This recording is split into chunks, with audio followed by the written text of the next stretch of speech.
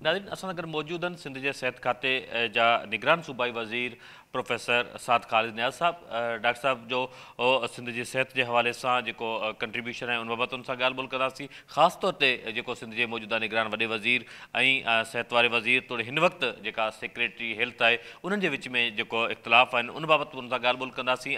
काबीना जो इजलास हुयो, उन में कहिड़ी गुफ़्तगु थी, इन सॼी सूरत हाल ते ॻाल्हि ॿोल डॉक्टर साहब ये बताइएगा कि पहले तो शुक्रिया कि आपने हमें टाइम दिया। आज जो कैबिनेट का इजलास था, उसमें एक अहम एजेंडा थी, जिस पर आपने ख़त भी लिखा था चीफ सेक्रेटरी साहब को। तो वो क्या हुआ और कितने पैसे देने जा रहे हैं इस समाजी तंजीम को, और वो पैसे मज़ीद कितने सालों के दिए समरी में क्या था, ये बताइएगा। देखिए, मैं आपको बिस्मिल्लाह मैं आपको बताता हूँ कि मेरा जो जो एतराज़ है, वो इस बात पे नहीं था कि किस इदारे को दिया जा रहा है और क्या दिया जा रहा है फ़िलहाल। पहला पॉइंट वो इस बात पे था कि आखिर ऐसा क्या, ऐसी क्या वजह थी कि मुझे लाइल्म रखा गया, मुझे बताया नहीं गया और मुझे बाईपास करके डायरेक्ट इसको पेश किया गया और ये समरी अप्रूव होके कैबिनेट में आई है। जब कैबिनेट की लिस्ट आई है तो मुझे पता चला कि ये पता नहीं कौन सी मैंने कहा, ये कौन सी चीज़ है? जब उनको पूछा सेक्रेटरी साहब को तो उन्होंने कहा कि सर वो आप नहीं थे, मैंने कहा, मैं तो था। उनतीस दिसंबर को आपने साइन किया, उनतीस को तो मैं ऑफ़िस में था। और उसके हफ़्ते अगले में पूरा था तो ये तो बिल्कुल ये यू नो गैर ज़िम्मेदारी वाली बात है। उस पर उन्होंने कहा कि नहीं जी, मुझे सीएम साहब ने कहा था। तो मुझे नहीं पता कि सीएम साहब ने कहा था या नहीं कहा था, लेकिन ये उन्होंने कहा। ये बहुत ही, मैं समझता हूँ, बदनीयती पे, और ये तो ऐसी चीज़ है जो एक्सेप्टेबल है ही नहीं। और ये तो रेड हैंडेड पकड़े गए हैं ना मतलब ये कोई, इसमें कोई शक शुबे की गुंजाइश ही नहीं है। तो आखिर ऐसी क्या वजह थी, उनको बताना चाहिए कि मुझे बाईपास किया गया। जबकि मैं था और फिर झूठ लिखा गया कि मैं अवे हूँ। मेरा जो था, वो इस पे था स्टैंड कि। ये इस वजह से पेश ही नहीं हो सकती और यही स्टैंड चीफ सेक्रेटरी साहब ने लिया तो वो पेश नहीं हुई। तो समरी जो है विड्रॉ हो गई। अब वो आएगी दोबारा मेरे पास।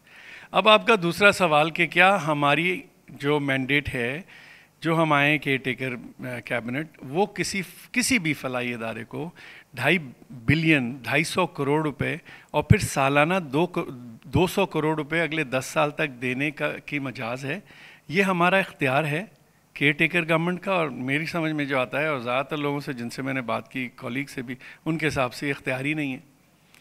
फिर तीसरा सवाल आता है। तीसरा सवाल ये है कि फलाही इदारे को जिसका कोई ट्रैक रिकॉर्ड अगर इस पर्टिकुलर लेबोरेटरी में नहीं है तो क्या ये पैसा यहाँ खर्च किया जाए या ये पैसा सिविल और जिना अस्पताल की लैब्स पे लगाया जाए, जहाँ ऑलरेडी मैं, मुझे नहीं एग्जैक्ट मैं भूल गया हूँ फिगर शायद जिना के 40 लाख हैं और सॉरी सिविल अस्पताल के 40 लाख टेस्ट हैं साल के और जिना अस्पताल के 28 लाख हैं आई थिंक सो तो समझ लें 70 लाख टेस्ट इन दो के 70 लाख टेस्ट के लिए हमारा ख़र्चा आधे से भी कम है, जितना दिया जा रहा है.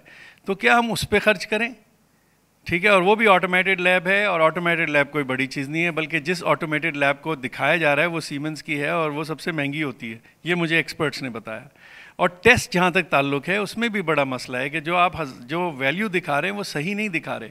क्योंकि एक्सपर्ट से बात नहीं की है शायद कि अगर आप दिखा रहे हैं कि मैं हज़ार टेस्ट के हिसाब से कैलकुलेट करूँगा तो हज़ार कभी पूरे होते नहीं हैं। तो आपके नंबर्स कम हो जाते हैं तो आपकी कॉस्ट बढ़ जाती है, चाहे वो कोई भी इदारा हो। तो हमारे यहाँ फ्री एक तो उनका स्टेटमेंट है कि जी हम फ्री पहली लैब है तो पहली लैब फ्री नहीं है।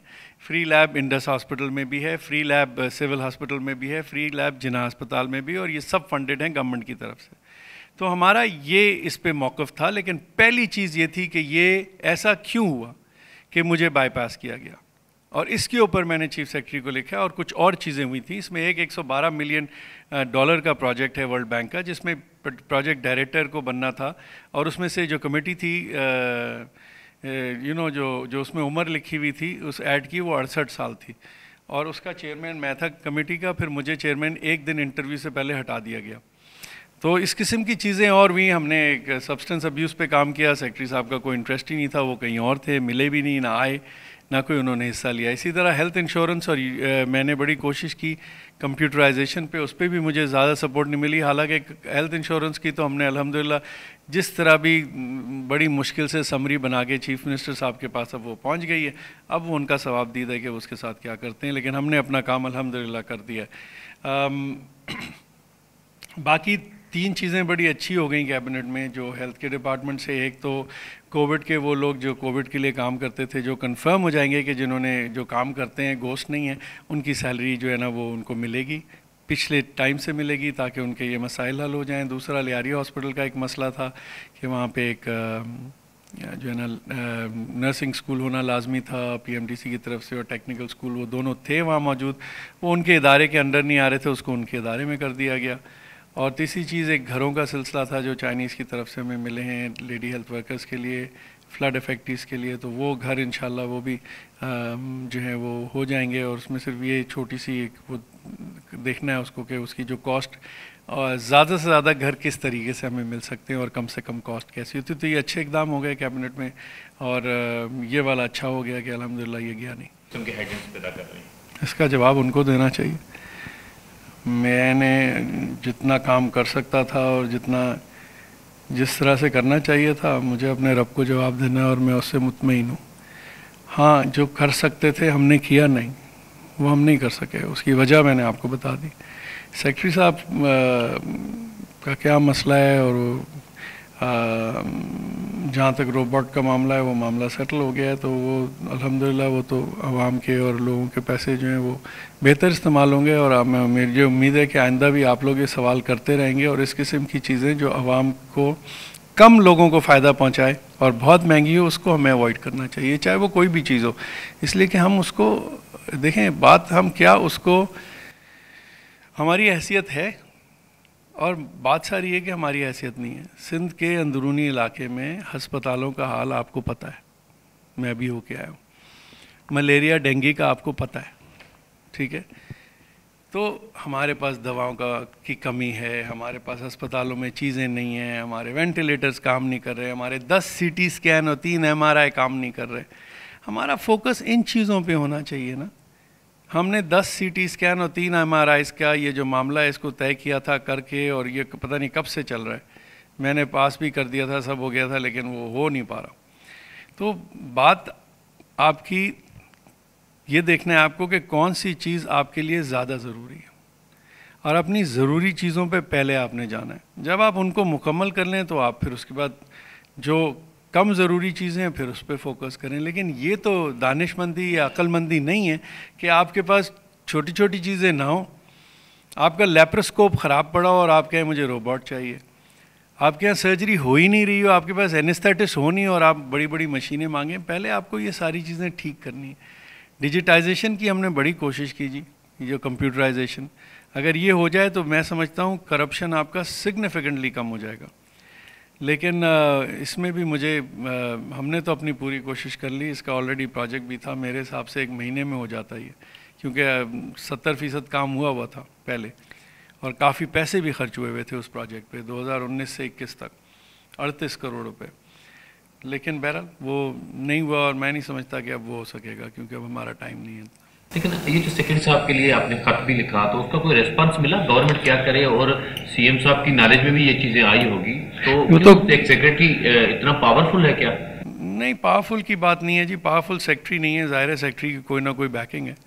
वरना सेक्रेटरी इस तरह तो नहीं कर सकते कि मुझे बाईपास करें। आ, मैंने लेटर लिखा है चीफ सेक्रेटरी साहब को क्योंकि उसके हेड इनके सेक्रेटरीज वगैरह के वो है। सीएम साहब को कॉपी कर दिया इलेक्शन कमीशन को भी भेज दिया कि ये जो पूरा सिस्टम है ठीक नहीं है। क्या इसके बारे में क्या एक्शन होगा मैं इंतज़ार कर रहा हूँ। एक्शन बिल्कुल होगा होना चाहिए। अगर वो चाहते हैं कि मैं जिस मनसब पे हूँ उस मनसब पे बैठा रहूँ तो एक्शन लेना पड़ेगा। कब तक वेट करेंगे आप? हुकूमती काम में थोड़ा वक्त लगता है मुझे पता नहीं लेकिन ज़ाहिर आज मैंने सेक्रेटरी चीफ सेक्रेटरी साहब से आज तो बात हो नहीं सकी कैबिनेट का मामला है। कल मैं उनसे बात करूँगा पूछूँगा कि उनके क्या इदादे हैं फिर मैं अपना आपको लाएमल बताऊँगा। अच्छा जैसे जो है ओवरऑल हेल्थ का जो निज़ाम है, आप खुद एक डॉक्टर हैं और प्रैक्टिकल डॉक्टर हैं, आप फ़ील्ड में काम करते हैं पेशेंट्स देखते रहते हैं तो ये बताइएगा, आप कितने मुतमिन हैं? ये जो कह रहे हैं कि हमने सिंध में ये कर दिया हेल्थ में एन आई खोल दी, हमने एन आई खोल दिया, हमने फलां कर दिया, उससे आप कितने मुतमिन नज़र है कि वाकई पीपल्स पार्टी की गवर्नमेंट तरफ़ कोई काम किया हुआ था? देखिए, मैं तो केयर टेकर हूँ और ये पोलिटिकल सवाल है तो मुझे थोड़ा एहतियात करनी पड़ेगी, लेकिन कुछ चीज़ें बिल्कुल सही कह रहे हैं वो। एन आई ने अच्छा काम किया था। एस आई फिर N I C H S I C H ये हमारा इदारा। ये आप इसको देखें, इसमें फिफ्टी परसेंट गवर्नमेंट का सपोर्ट है। रनिंग में ज़्यादातर सपोर्ट है। तो बेहतरीन इदारा, ऐसा इदारा पूरे मुल्क में नहीं है कोई दूसरा। लेकिन ये है टर्शरी केयर है ना? ये उन मरीज़ों के लिए हैं जो, जिनकी तादाद नस्बता कम होती है। पूरी पॉपुलेशन को जब लें साढ़े पाँच करोड़ की सिंध की पॉपुलेशन में ये जो इदारे हैं जिनका आपने नाम लिया इन, इनका इलाज जो हम करते हैं वो बहुत कम गिनती में आते हैं। असल जो ज़्यादातर लोग जाते हैं वो जनरल बीमारियों में जाते हैं बुखार के साथ इस तरह टाइफॉइड मलेरिया या आम सर्जरियाँ पित्ता निकालना अपेंडिसेक्टमी सब। ये सारी चीज़ें जो हैं वो सेकेंडरी हॉस्पिटल में होनी चाहिए यानी आपके घर से करीब। आपको खैरपुर से कहीं और जाना नहीं चाहिए। या यू नो पन्नो आकिल में है तो पन्नो आकिल में ये सब चीज़ें हों डायलिसिस हों, ये सारी चीज़ें उस चीज़ में आई थिंक ज़ाहिर नहीं है। अच्छा। प्राइमरी केयर में पीपीएचआई ने कुछ उनको तेरह सौ के करीब क्लिनिक्स दी गई हैं, लेकिन मैं नहीं समझता कि उनकी कारकर्दगी उतनी अच्छी है जितनी होनी चाहिए। उसके ऊपर ज़ोर होना चाहिए, उनकी अकाउंटेबिलिटी होनी चाहिए, उन पर दबाव होना चाहिए। पीपीएचआई का इदारा जो है ना, वो गवर्नमेंट के मातहत है। तो वो डिलीवरी उनको करना लाजमी। तो अगर थोड़ी सी मेहनत की जाए, और जैसे मैंने आपसे कहा, अगर हेल्थ इंश्योरेंस का सिस्टम ले आया जाएगा तो मुझे उम्मीद है अगर उसको सही तरह से इम्प्लीमेंट करेंगे, सही तरह से चलाएँगे तो आपकी ये सारे मसले इन हल हो जाएँगे, क्योंकि हमने जो प्रपोज़ किया, उसमें प्राइमरी केयर की बड़ी इंपॉर्टेंट है, यानी बीएचयू की। इस वक्त सबसे इंपॉर्टेंट जो आपकी जगह होनी चाहिए हेल्थ के लिए वो बीएचयू होनी चाहिए। उसको आपने बेहतरीन करना है, ताकि मरीज़ अपने घर के करीब इलाज कराए। फिर बीएचयू उसको बताए कि ये इस इलाज के लिए तुम्हें अपने करीब वाले अस्पताल में हो जाएगा, तुम्हें बहुत दूर जाने की ज़रूरत नहीं। और वो मरीज़ जिनको कराची आने की, या S I C V D या N I C H S I C H या में, हमारे जैसे इदारे एस आई यू टी इनमें आने की ज़रूरत हो, वो उनको गाइड करें। जब इंश्योरेंस सिस्टम होगा तो ये चीज़ें स्टैब्लिश हो जाएँगी। तो मेरे हिसाब से उसमें एक उम्मीद है अल्लाह ने चाह बेहतरी हो जाए। सर इंडस हॉस्पिटल जो है उसके साथ एक सिंध गवर्नमेंट उसको फंडिंग करती है। बदीन के कुछ देहात में वो अस्पताल कायम है वहाँ ये इशू आ रहा है कि वो फंडिंग उसकी बंद कर दी गई है वो सर्विस नहीं प्रोवाइड कर पा रहा। तो वाकई केयर टेकर सेटअप ने कुछ जो जिनको दी जा रही थी हैंड्स को जो फंडिंग की जा रही थी वो बंद कर दिए क्या कुछ? नहीं आ, मैंने तो ऑर्डर्स किए थे कि जिस इंडस वाला कर दे। लेकिन वो सेक्रेटरी साहब के पास था, मुझे नहीं पता आखिरी कब हुआ या नहीं हुआ। हालाँकि मैंने वो अप्रूव कर दी थी फंडिंग बदीन के लिए ख़ास तौर पे बिकॉज़ बदीन के लोग मेरे पास आए थे। इसी तरह आपने हैंड्स का कहा तो वो पाँच करोड़ रुपए उन्होंने सिंध सिविल अस्पताल की लैब के लिए मांगे हैं। वो अभी तक अप्रूव नहीं हुए हैं। तीन महीने से मैं कोशिश कर रहा हूँ। तो मुझे बताया जाता है, ये प्रॉब्लम है गवर्नमेंट की, ये है। और सेक्रेटरी साहब के पास था, मुझे नहीं पता जी, अभी तक साइन नहीं हुआ। जहाँ तक मेरी इतला है, कल तक नहीं हुआ था। तो इस तरह से तो काम सही नहीं हो सकता। ठीक है ना? जो इदारे अच्छा काम कर रहे हैं, मैं समझता हूँ फलाई इदारों का, की अकाउंटेबिलिटी होनी चाहिए, उनसे हिसाब किताब होना चाहिए। उनको चाहिए कि वो अपनी वेबसाइट पे बताएँ हमें कि उनके इदारे में तनख्वाहें क्या हैं लोगों की, उनके कंसल्टेंट्स उनके जो इदारे के हेड्स हैं, उनकी क्या तनख्वाहें। इसी तरह उनके कॉस्ट क्या आ रही है एक मरीज़ को इलाज करने की। ताकि आदमी अपने पैसे ये सोच के दे यार मैंने अगर इस वाले इदारे को दिया तो मैं सौ रुपये दूँगा तो मेरे तीन मरीज़ों का इलाज होगा। अगर मैं दूसरे इदारे में दूँगा तो पाँच का होगा। तो ताकि एक कंपटीशन हो कॉस्ट को कम करने की ज़्यादा से ज़्यादा लोगों को फ़ायदा पहुँच सके।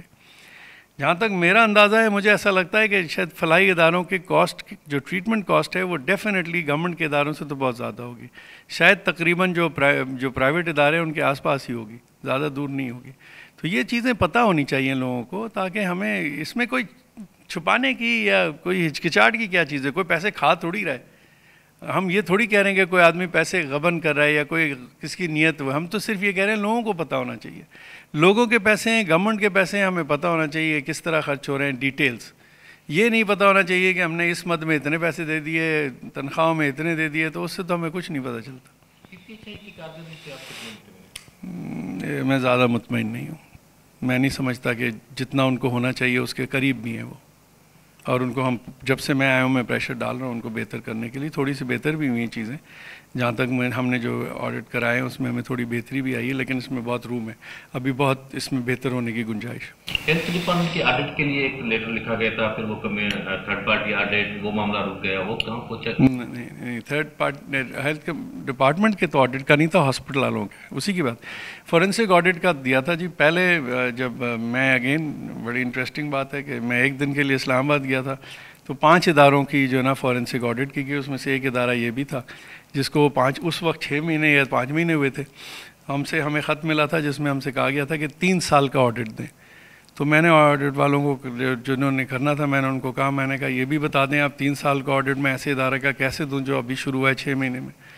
तो वो खुद हंसने लगे, कहने लगे, सर, नहीं, अभी तो आपका साल भी नहीं हुआ, आपसे तो ऑडिट मांग भी नहीं सकते। तो मैंने कहा, सर, आपने मांगा है तो आप ले लें, जो हमसे चाहिए, हमारे पास कोई चीज़ छुपी भी नहीं अलहमदिल्ला लेकिन वो पाँच जो है मेरी एब्सेंस में डाले गए थे। हमारे इदारे को क्यों टारगेट किया गया मुझे समझ में नहीं आया। आ, तो लेकिन फिर जब मैं आया तो मैंने कहा नहीं आप सारे अट्ठारह इदारे हैं उन सब का एक साथ ऑडिट करें। तो उसमें इदारों का ऑडिट जो है मेरी जो लास्ट मीटिंग हुई थी लास्ट वीक आई थिंक उसमें ऑडिटर जनरल ने कहा था कि ऑडिट हम शुरू कर दिया है। कुछ जगहों पे कर रहे हैं कुछ जगहों पे कर दिया है। तो अब एक सिस्टम प्रोसेस शुरू हुआ है। आप लोगों से रिक्वेस्ट है कि जब हम चले जाएँ इंशाल्लाह तो उसके बाद आप ये सवाल करते रहें। लेकिन ये समझ में आ रहा है कि शायद सेक्रेटरी साहब मिनिस्टर साहब के इदारे की ऑडिट करवाना चाह रहे थे कि ऐसा ही था इसके पीछे? हम्म। लग तो यही रहा। लेकिन मिनिस्टर साहब को कोई फ़र्क नहीं पड़ता था। हम खुली अल्हम्दुलिल्लाह खुली किताब है। जिसको आइए आगे देख लें मैंने क्या छुपाना है? मैं यहाँ तनख्वाह लेता नहीं अलहमदिल्ला मैं इस पूरे इदारे में वाहिद आदमी जो बगैर तनख्वाह के काम कर रहा आज से नहीं कर रहा अल्लाह का शुक्र है सत्रह साल से कर रहा हूँ। तो मुझे इसका कोई फ़िक्र नहीं है जिसको आके आना है जिसने ऑडिट करना है जिसने पूछना है पूछ ले। लास्ट क्वेश्चन है कि करप्शन को रोकने के लिए यकीन कोशिशें तो आपने की होगी लेकिन आज भी हेल्थ डिपार्टमेंट में ट्रांसफ़र पोस्टिंग जो है वो पैसों से हो रही है। बैक डेट्स में कुछ आर्डर हुए हैं जिसकी कोई शायद कोई इंक्वायरी वगैरह भी हो रही है और ट्रांसफ़र पोस्टिंग का जो सिलसिला है, वो बगैर पैसों के नहीं हो रहा। ये भी कंप्लेंट हाल जो है वो आ रही है। अभी तो खैर बैन है, उसके बाद भी पुरानी तारीख में कोई आर्डर हो रहा है। इस किस्म की कोई इंक्वायरी वगैरह कोई मामला भी चल रहा है शायद कुछ दो तीन एग्जाम्पल्स मैं आपको देता हूँ जो जो ज़रूर हो रहा होगा। मैं इसको डिनाई नहीं कर सकता। डिपार्टमेंट में ही हो रहा होगा। अगर मैंने लोगों को जब शुरू में लिया था तो मैंने उनसे कहा कि भाई, मैं आपसे एक इल्तजा करता हूँ, एक रिक्वेस्ट है कि आप अगर कुछ करेंगे तो छुप के कीजिएगा। ऐसा ना हो मुझे पता चले, पता चलेगा तो एक्शन होगा, फिर शिकायत मत कीजिएगा। नहीं पता चलेगा तो नहीं होगा, मैं क्या कर सकता एक माजूर लोग मेरे पास हैदराबाद से आए। दोनों टांगे उसकी नहीं हैं। ठीक है, वो ज़मीन पे घिसड़ के आया मेरे ऑफ़िस मैंने कहा, मसला क्या है? सर, हमारी तनख्वाह रोक ली। तो हमने उसको, उसी वक्त सारा ऑर्डर्स किए, बल्कि मैंने ये तो उनसे कहा कि भाई, जो माजूर लोग काम कर रहे हैं डिपार्टमेंट उनके पास जाए ना, वो क्यों आते हैं? ये तो इंसानियत तो ये कहती है ना। तो वो एक्सेप्शन था। फिर एक पता चला मुझे जी कि किसी ने छुट्टी अप्लाई की उम्र की, उनसे हज़ार रुपये पर डे मांगे गए। उन साहब को भी ट्रांसफ़र कर दिया मैंने। फिर अभी पता चला मुझे कि एक ट्रांसफ़र हुई कराची में, जिसमें पैसे लिए गए तो वो रिवर्स हो गई। बल्कि उसमें मुझे सिफारिश भी आई। मैंने कहा, नो। तो मैं ये तो नहीं कह सकता कि जी हमारे यहाँ नहीं है, लेकिन इतना मुझे पता है कि कोई ये साबित नहीं कर सकता कि किसी के कहने से, किसी की इस तरह पैसे से हमने कोई, मेरे ऑफ़िस से कोई ऐसी चीज़ हुई हो। मैं अपनी चीज़ का जवाब दूँ। जब मुझे कोई चीज़ पता चलती है तो मैं एक्शन लेता हूँ। आज मुझे पब्लिक हेल्थ इंजीनियरिंग की एक वीडियो आई थी कल, जिसमें चटाई के ऊपर सीमेंट डाली जा रही थी और एक उसको कवर किया जा रहा था। तो एक्सीन आज सुबह सस्पेंड हो गए। लेकिन इसे आप डिनाई तो नहीं कर सकते कि you are head of the department तो आपके मातहत स्टाफ अगर इस किस्म की एक्टिविटी करता है ऑर्डर कैंसिल करना आप समझते हैं? सिर्फ़ यही काफ़ी है या किसी को ट्रांसफ़र करना यही काफ़ी है? वैसे मसला ये होता है कि आपके पास एविडेंस कोई नहीं होती। सर देखें आप मुझसे ये सवाल करें। सेक्रेटरी साहब हमारे जो हैं उन्होंने मुझे बाईपास किया वो पकड़े गए। तो उनके खिलाफ क्या एक्शन होगा? अभी आपको पता चल जाएगा। तो हमारे यहाँ गवर्नमेंट में एक्शन होने का कोई सिस्टम है नहीं। ये जो जो चीज़ें हैं, इसकी मेरे पास हार्ड प्रूफ नहीं होता। मैं, आपने आके मुझे बताया, मैंने देखा हाँ ट्रांसफ़र हुआ है। ये समझ में नहीं आया, मैंने रिवर्स कर दिया। जब रिवर्स किया तो पता चल गया कि सही किया, इसलिए कि फ़ोन आए। ये यार इसको देख लें। तो आप क्या करप्शन को कम कर सकते हैं, ख़त्म कर सकते हैं? नहीं। आप अपने से शुरू करें। आप मत करें। पाकिस्तान ठीक तब होगा मेरे भाई, जब हम खुद गलत काम करना छोड़ेंगे। जब हम दूसरे का इंतज़ार करेंगे ना तो पाकिस्तान कभी ठीक नहीं होगा खसूस क्योंकि मैं यहाँ रहता हूँ तो मुझे नहीं पता बाकी प्रोविंसेस का क्या है, मैं तो अपनी बात कर सकता हूँ। यहाँ पे चाहे हेल्थ डिपार्टमेंट हो, चाहे कोई भी डिपार्टमेंट हो, क्यों ख़राब है? आखिर गोस्ट एम्प्लॉयज़ कौन है? क्यों नहीं आते काम पे वो? चोर तो वो है ना, जो उनसे पैसे लेके उनको बचा रहा है, वो भी चोर है, लेकिन बड़ा चोर तो वो है जो काम पे ही नहीं आ रहा है यार। क्या जवाब देगा अल्लाह को? ये हराम रोज़ी अपने बच्चों को खिलाएगा। क्या फ़ायदा ऐसी दुनिया का? क्या फ़ायदा ऐसी ज़िंदगी का जिसमें आपकी आखिरत बिल्कुल तबाह हो गई? तो इस कौम ने अन बदकस्मती से अल्लाह का खौफ नहीं है। बिल्कुल, ख़त्म हो गया। जब अल्लाह का खौफ नहीं है, आखिरत का ख्याल नहीं है तो किसको फ़िक्र है क्या खा रहे हो, क्या हराम खा रहे हो, हराम खिला रहे हो, बच्चों को खिलाओ? बड़ी गाड़ी में तो घूम रहे हो, चाहे हराम की हो, चाहे हलाल की हो, किसको फ़क्र? तो जब तक ये सोच नहीं बदलेगी, मेरे भाई यहाँ पे कुछ नहीं बदलेगा। आपको सोच बदलनी है। जी तव्हां प्रोफेसर साद ख़ालिद न्याज़ साहब जूं ॻाल्हियूं ॿुधियूं हुननि जो चवणु आहे त तब्दीली या सूरत बहितर तॾहिं थींदी, जॾहिं माण्हू पंहिंजो चेंज आणींदो। इन सां गॾु ॾींदा इजाज़त अला हाफ़िज़।